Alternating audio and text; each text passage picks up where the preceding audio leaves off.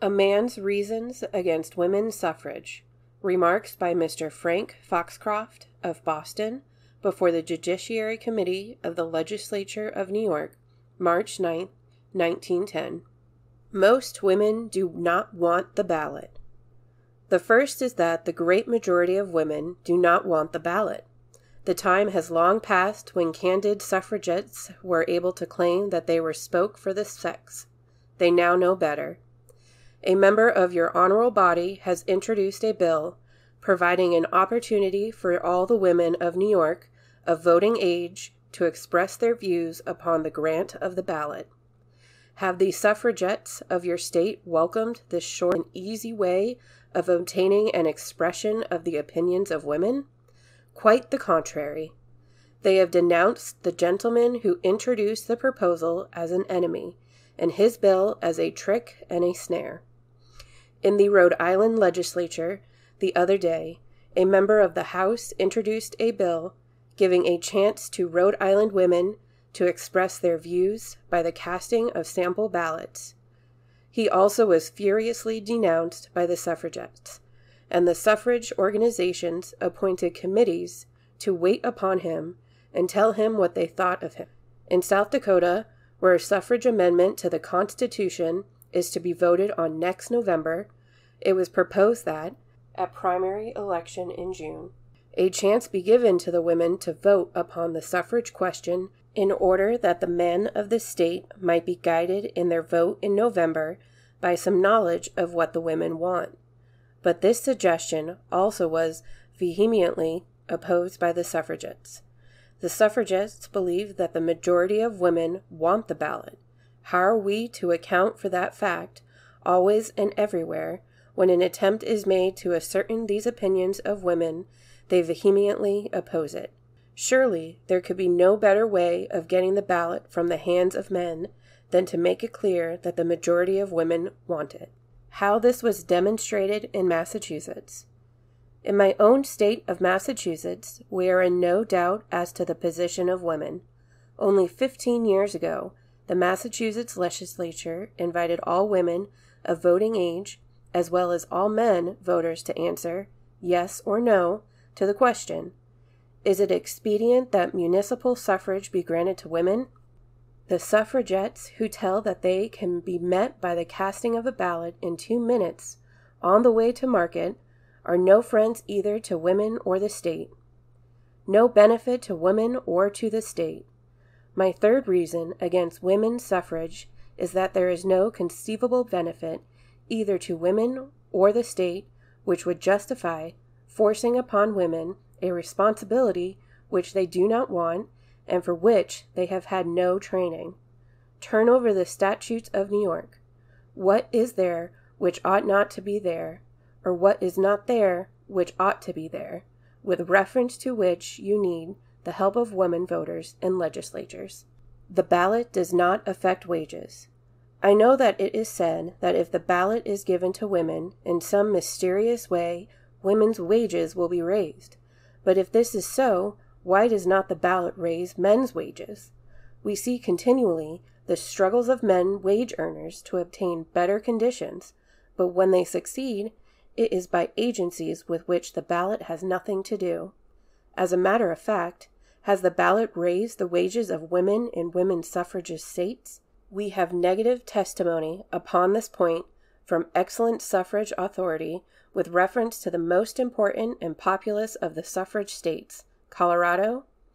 Miss Helena Sumner of your state went out to Colorado some time ago to study conditions there with reference to woman suffrage. She went out as a representative of the College Equal Suffrage League. Naturally, she found many cheering things, for it was those she was in search of.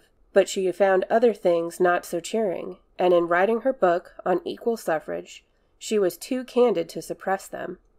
Writing upon this question of the ballot and wages, she says, It is probably true that suffrage has nothing to do with the wages of either men or women. As to public employments, Miss Sumner concludes that taking public employment as a whole, women receive considerably lower remuneration than men. With reference to the pay of women, teachers, Miss Sumner makes the surprising statement that not only do women teachers in Colorado receive lower salaries than men, but that the difference in the salaries of men and women teachers in Colorado, instead of being unusually small, is unusually large. Yet it is here, if anywhere, that we should look for some effect of the ballot upon wages, for school teachers are public servants. As to the purification of politics, upon another point also, the supposed effect of women's suffrage in the purification of politics, we get light from Miss Sumner's book. She found in a single county, Arapahoe County, 1,772 women who were fraudulently registered. It is true that, in the same county, the number of men illegally registered was twice as large, but it would appear that considering the short time they have been voting, women have learned how to play the game of politics with considerable rapidity and success. Why does not Kansas extend the suffrage? I cannot touch upon conditions in other suffrage states without entering upon disputed questions, but with reference to the statements regarding Colorado, which I have quoted from this excellent suffrage authority, there is no room for dispute. One other question I want to suggest for consideration in this connection.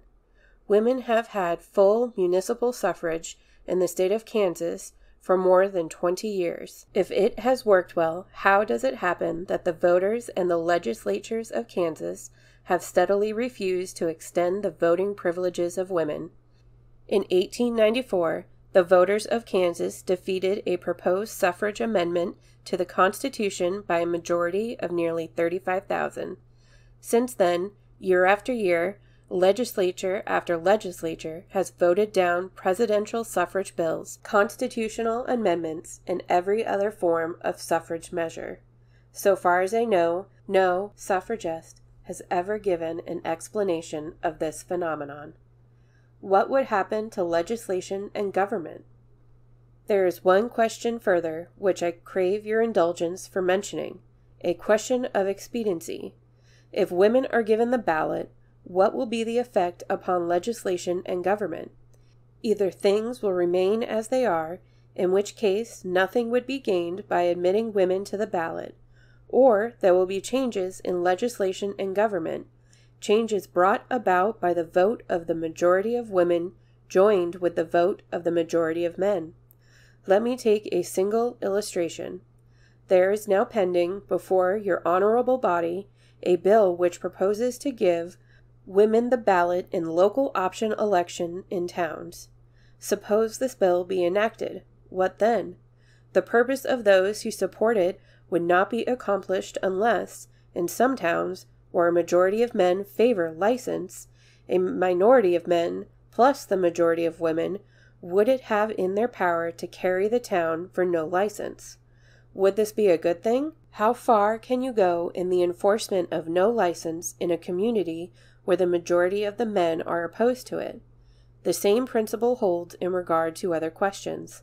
You cannot afford to carry legislation much further than you are sustained by the public sentiment of men. Behind law, there must always be force to make it effective. Women, by the limitations of their sex, are unfitted for the stern work of enforcing law.